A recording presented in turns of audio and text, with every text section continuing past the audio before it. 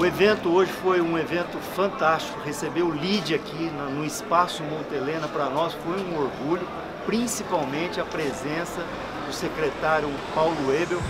Isso é marcante. A história do Montelena continua muito bacana, sendo que o dia da abertura desse espaço é o dia desse evento que ocorreu aqui no LID.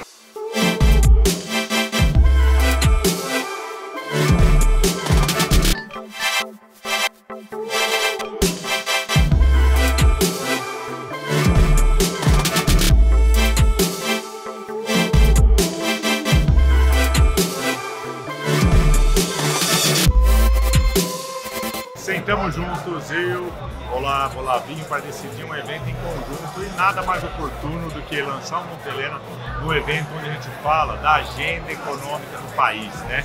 Uma agenda positiva, uma mudança completa aí é, de mindset estrutural, ou seja, né?